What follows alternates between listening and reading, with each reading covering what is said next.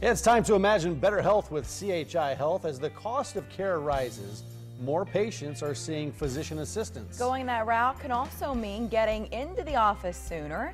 The benefits fueling growth as much as 36% in the next decade. Jake Ridder is a CHI Health physician assistant. Good to see you, Jake. Hi, Thanks for stopping by Jake. this Good morning. Good morning, Hi, guys. wh- Good morning. What are you What are you hearing from patients? Uh, PA. We know what PAs are. Uh, are more patients turning to uh, physician assistants? Yeah, definitely. Um, so physician assistants can work in specialties like I do. I work in general surgery. Uh, they also work in family practice. So uh, there's lots of patients that I see um, that say, "Oh yeah, you're a PA. I also see a PA for my you know family practice needs."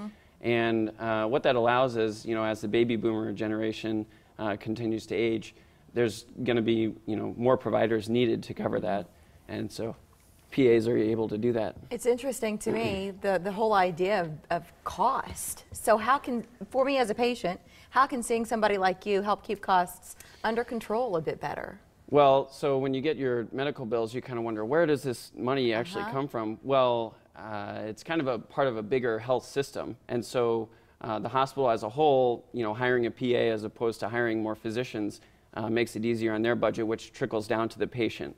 Uh, so it's not necessarily that you're going to see a smaller charge like right on your bill, but kind of in the background um, because you have more physician assistants working on the floor, working in family practice. It kind of drives the whole cost down as a whole. My if that makes experience with sense. PAs is with my primary care doctor. And you'd call up, you'd want to get in, the doctor's unavailable, and they say, but we can get you in with our PA. But more, uh, there's more PAs that are choosing specialties, like you did. You chose a specialty. Are, are, you, are you seeing that more? Uh, yeah, certainly. Um, so in my role with a specialty, um, I kind of like the idea of surgery because we're able to see a, just yesterday this happened. We saw a patient, you know, they had some abdominal pain. It ended up being a surgical issue. We were able to get them in, have surgery that day, and they went home later that day.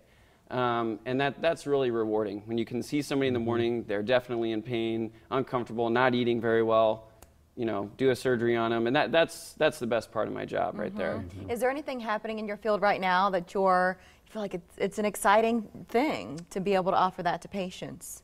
Uh, yeah, um, so with surgery, there is, um, you kind of hear about this robotic business and like, Uh-huh. oh, how far into the future is that? Well, uh, some of robotics is here already, um, especially with prostate surgery. That happens uh, quite often. And uh, there's always new technologies happening. Um, surgery that I do, we use the camera a lot, laparoscopic surgery, and the definition that you're able to get uh, when looking, you know, inside at somebody's insides uh, with that camera is just amazing. And it ultimately affects the outcome, Sure. right? Yeah. Because you can be and the more recovery, precise. yeah, all Uh-huh. that Yeah, stuff. very, very Uh, precise. As a PA, how intense uh, is, is your schooling? Pretty intense. Very, very intense. For, for two years, my family would basically say I was off the grid. uh, I, I ended up going down to Wichita State for PA school, and um, it was 26 months. Uh, I think I had a week or two of a break, but Really? even during the break, I, it's not really a break. Uh, you're just kind of catching up on studying. Because you're trying to fit a lot into a, what, I mean, it, technically it could have taken four years. Yeah, yeah. Really? So physicians' assistants go to school on what's called the medical model. Um, so you learn, it, it's basically medical school cut in half. So you have one year of uh, didactic or in the classroom schooling where you might have four or five lectures a day. You have a, a physician assistant staff that uh, teaches you curriculum, and then they also bring in physicians or other physician assistants to uh, be more specific about certain body systems. You know, Mike and I both, I mean, I, I happily see uh, PA any chance I get because it means I get in faster. I don't want to wait a week to get in. Um, but some people might wonder, like, uh, should I be comfortable with that? Does a PA know as much as my doctor knows?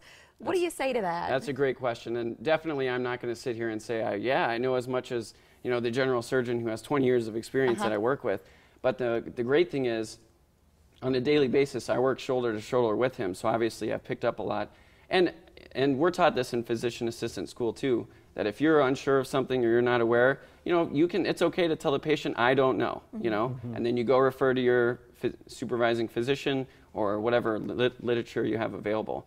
Um, so that's one of the main things that they drive home in physician assisted Mm-hmm. But I think school. it's it, always be comfortable with starting there. Oh yeah. You know what I mean? Oh, I, yeah. I feel like it's yeah. why- I mean, they you, you can do a lot of what a doctor can do in many cases, right? Definitely. Yeah. Like Oh, yeah. medic- medication and that sort of thing. Mhm. Yeah, we can see somebody get their history and physical, Mm-hmm. um, potentially diagnose what's going on, and and provide them a prescription or a game plan at least to get them better. That's right. Yeah, we address the cost effectiveness, but the time thing is also something that we briefly touched on.